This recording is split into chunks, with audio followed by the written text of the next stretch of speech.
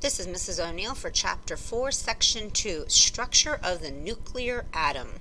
In this section, you're going to identify three subatomic particles and describe the structure of atoms according to this Rutherford model, which you kind of already know a little bit about because of watching that intro video last, um, last section.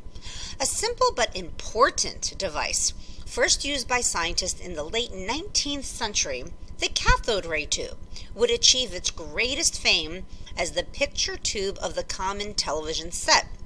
Today, cathode ray tubes are found in TVs, computer monitors, and many other devices with electronic displays. But more than a hundred years ago, scientists were the only ones staring into the glow of the cathode ray tube.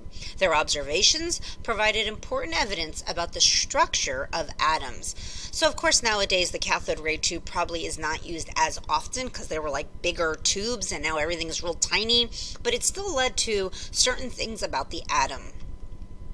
Just a joke, pause and read. Haha, ha, hopefully thought that was funny. So here are the subatomic particles, and there are two charts in your notes to fill out. I have the information here in the video. So you're going to fill out those two charts, then you're going to pause the video because there's a few questions that go along with those charts. Answer as many as you can, and then of course play the video to check your answers. So before we begin though, again, this is our atom, right? Uh, this is going to be called that electron cloud, and if you see that the rings are slightly different colors, we're going to call those rings energy levels. Of course, we have the nucleus, and inside the nucleus, we have two subatomic particles, the neutron and the proton. And of course, in our electron cloud, we have all the electrons. But then we're going to talk about specific energy levels is going to have specific electrons. So pause the video, fill in the chart. And down here, I just like to have pictures. So hopefully you've paused and wrote down all the information. Again, pause, write down the information, and I like to have Rutherford there as just to show you who these people are. It's nice to always have a face with a name.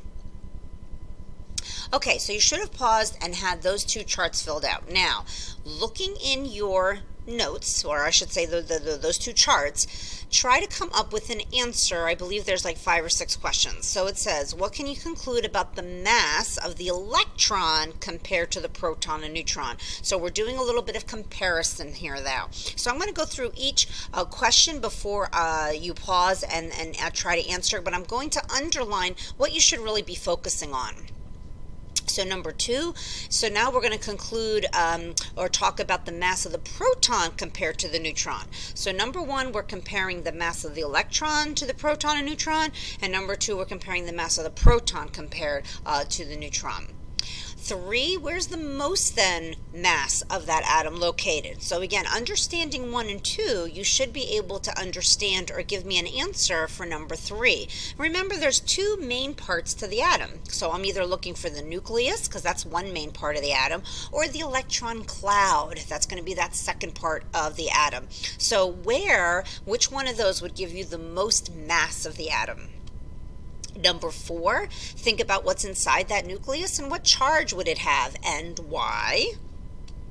And number five, what would be the main difference then between the electron clouds and energy levels? I already said it in this video, and again, it's written in that chart. So now pause the video, come up with an answer, and then continue playing to, uh, to check your answers. Hopefully you paused, you wrote down an answer, had some kind of thinking going on there, and now let's see if you can analyze it correctly. So number one's answer, right? So the mass of that electron has the least mass of all three. How about the mass of the proton compared to the neutron? Well, those two are the same. So protons and neutrons equal the same mass, where the electrons are a heck of a lot less. Hopefully that makes sense, especially we're dealing with those mass numbers. Think about that exponent um, having that negative um, value. Number three, then most of the mass of the atom is located in the nucleus. If our protons and neutrons are heavy and they're in the nucleus, then that's where most of the mass of the atom is. What charge then does the nucleus have and the why? Well, it has a positive charge. Hopefully you got that, right? Po so, but now the why, because it has positive protons and neutral neutrons. So a positive and a neutral would make it positive. Number five, so what's the difference then between the electron cloud and energy levels? Uh, just want to remind you, like again, I said before, and it's in your chart, the electron clouds are going to have all the electrons in that atom, but energy levels are going to contain specific electrons, and we're going to talk um, later on about where the, uh, how many electrons are in each of those energy levels. So I thought this was interesting. Pause. Hopefully, you looked at this and read it over and was like, wow, yourself, right? How much, uh, and again, this is just a comparison, but how much a proton weighs versus how many, how much an electron weighs and what that comparison would be like. So here's the parts of the atom. So let's make sure we understand the parts of the atom and if there's any charges associated with it. So in your notes, you have basically the same thing and the arrows, excuse me, are exactly in the same spot. So, do we know what this E is representing? Hopefully you got that it represents an electron and it has a negative charge. So if you want to wait until I go through the whole thing and then pause and write everything in, great. Or you can kind of pause and play, pause and play along the way. It's up to you. The P, hopefully you understand, means proton, and that has a positive charge. And that little n, n inside this darkened area is going to be the neutron and of course that doesn't have a charge. These arrows up here are pointing to the specific energy levels. And of course, again, this ring or the middle of the atom is the nucleus, and now you know that that nucleus has a positive charge. And this down here, it's kind of hard to understand, but really I'm trying to encompass all of this area outside the nucleus, and that's going to be called the electron cloud. So again, at this point, if you didn't already fill in these blanks along the way, pause and make sure you get that information written down in your notes. So here's a nice flow chart. I'm actually going to say pause and write all the information down. Hopefully this makes sense, but I like flow charts just like Mr. Bozeman Science does. And hopefully this is a little bit of some stuff that you've learned in the past and some stuff that you're going to find out in the future. So I did give you the first letter of each of the boxes. And then again, you might also want to write in these little extra things uh, as well. I did not put that in your notes. That's something I thought either you'd want to or not want to add to your notes. Um, um, that's going to be all up to you. So pause and make sure you have uh, the flow chart written out. Okay, so and I believe down here as well, this was a little tricky for me to make in your notes. Um, so I think I have it coming down from the energy levels, but you can also kind of connect it with the paired electrons. So those kind of go together. So, I love my little jokes. Hee hee. Helium, helium. Get it, get it. All right, so let's understand a little bit about this cathode ray tube and how J.J. Thomas used it to figure out that electron. So here's a picture of the cathode ray tube. Really, it's a vacuum tube, but inside the tube we have a negative charged plate and we have a positive charged plate, and we have it connected to some wires um, so we can give it a charge, right? We can give it, we can turn it on, basically. So he also then used a magnet. That's what was neat. So not only did he just see this cathode ray tube and the light shining these particles shining through the cathode ray, but then he also used a magnet, and that's that's what really said, oh yeah, there's such things as electrons because of the attraction to that magnet. So again, those are electric plates. Um, and again, he just kind of put the, the things in here with the positive and negative, and now you see that the there's a bend in there. So this I found a little bit uh, easier to understand if I kind of go through it step by step. So here's our cathode ray tube. It's a vacuum tube, right? So it's vacuum sealed. These things are called electrodes because they're positively charged and negatively charged. So negative, positive charge. And it's connected kind of like to a battery so you can kind of turn it on and off. So what happens is he ran a current through the vacuum tube, right? This cathode ray tube. So he turned it on. So what's going to happen to the current? Well, what happens is by passing the electron current, this beam, really this beam of light, appear to move from the negative end to the positive end, right? Just straight across. That should make sense, right? Positive is going to be connected to the, uh, I'm sorry, negative is going to be attracted to the positive and it's going to be kind of keep rotating around. However, now he has the, adds this electric field. He adds what's called like that magnet on the tube. Now what's going to happen to that current? It bends. So he discovered that these these this this beam of light really has moving pieces to them and they're negatively charged, right? Because we have the positive on top, right? So this must be attracted to the positive on the top, right? So this is negative, moving this way. It was connected to the positive here, but now that we have this magnet, it's actually really attracted to the positive. So this beam of light must be negatively charged particles and they can move, right? Because they, they kind of bent their shape.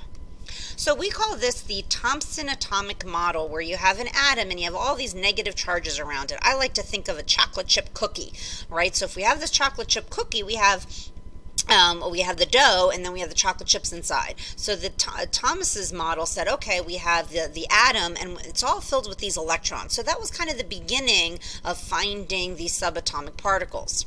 So how about Rutherford's uh, gold foil experiment? So here we have again, we have this this this this uh, block of wood, basically lead block. We have this uranium, and we're going to shoot it through this gold foil. And then you have this fluorescent screen to see where these particles are going to hit. So this is what he thought should happen.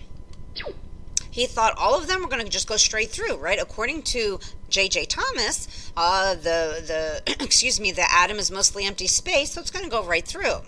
So this is what he thought. Okay?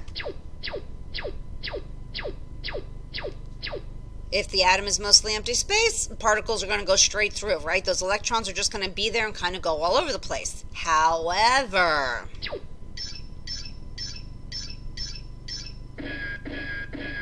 So what's going on here? The particles, all of them don't go through. Now still mostly go through, which is going to be something to keep in mind. But now some of them are hitting something in this gold foil, something in these atoms to make them be deflected off.